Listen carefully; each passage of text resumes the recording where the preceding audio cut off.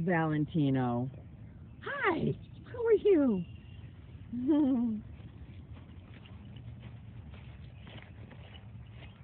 he likes to wear his hair in a new way.